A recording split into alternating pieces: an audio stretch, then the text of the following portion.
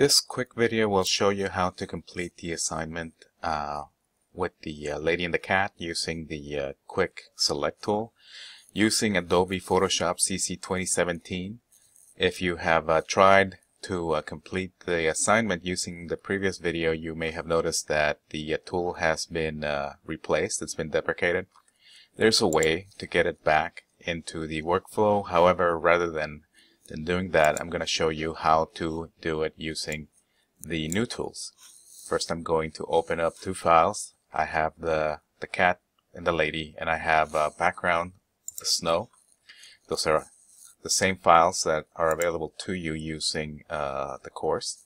I'm going to make sure that I have the uh, lady with the cat open. I'm pressing Control 0 to view the whole thing in one place. I'm going to use the same tool which is the fourth one from the top, the quick selection tool. Make sure that you're using that one, not the magic wand.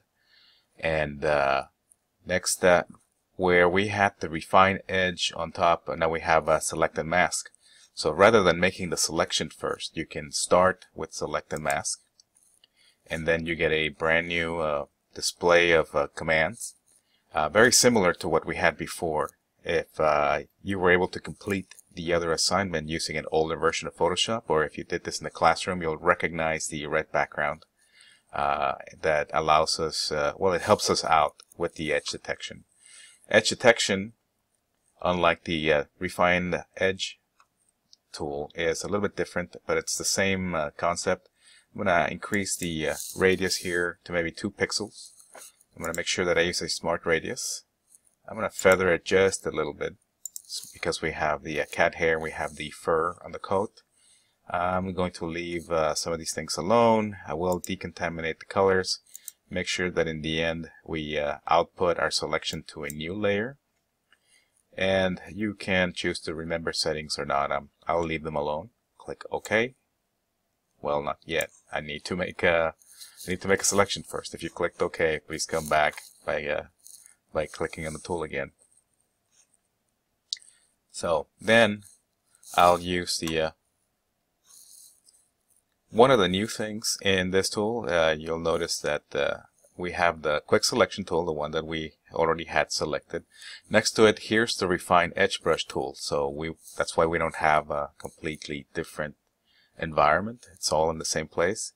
Uh, later, there's an, uh, an, additional brush tool, some lasso tools, hand tools, etc. There's uh, multiple shortcuts for all this. I'm going to be working mostly with the uh, refine edge and the quick selection tool. Starting with my quick selection, the radius of my brush, this uh, circle up here, I'm going to make sure that it's somewhere around 20. I think that's the same settings that I've used before. The hardness, I'll uh, drop it down to 80. Spacing, I'll leave at 25. And I'm just clicking on that icon to make sure that that goes away. I can see the lady behind the red. Once we start to make a selection, it'll become apparent why we have this red background. As soon as you start to make your selection, the uh, the parts that are going to be masked, that is, the part that's going to disappear is what's going to be on the red. And uh, we're selecting everything that's going to be left within the photo that we're going to be able to cut and copy into our new background.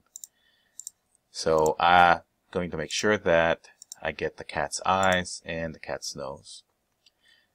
Now that I've made my brief selection, just by clicking and dragging around the uh, inside of the photo, I'm going to switch to the next tool, which is the Refine Edge.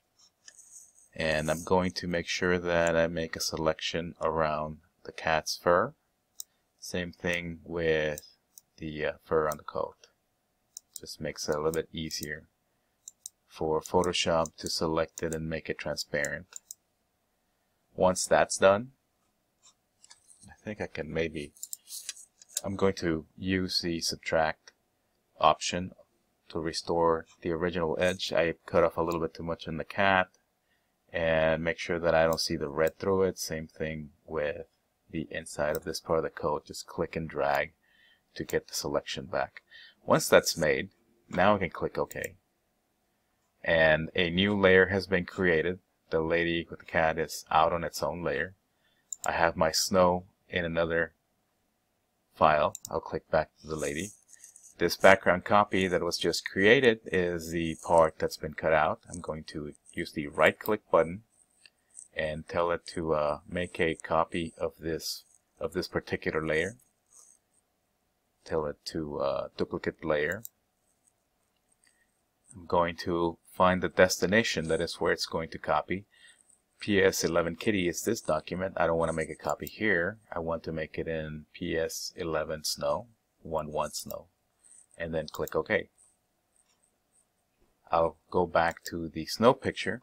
The lady and the cat have both been uh, copied. I'm going to change my uh, active tool to the move tool up here on top. My uh, cutout image is selected, then I can move it down to the corner. If you have her somewhere around here, problem is that her elbow has been cut off and it's all square.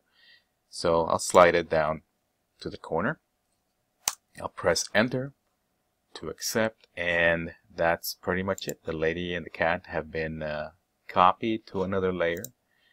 They are transparent the uh, refine edge function was uh, made using uh, the uh, new tools and all you got to do now is just make sure that you save it file save uh, save the Photoshop document name it uh, assignment 1 or whatever works for you. Once it goes into eCampus I'll be able to know what you've turned in and you'll get your grade. Hope this helps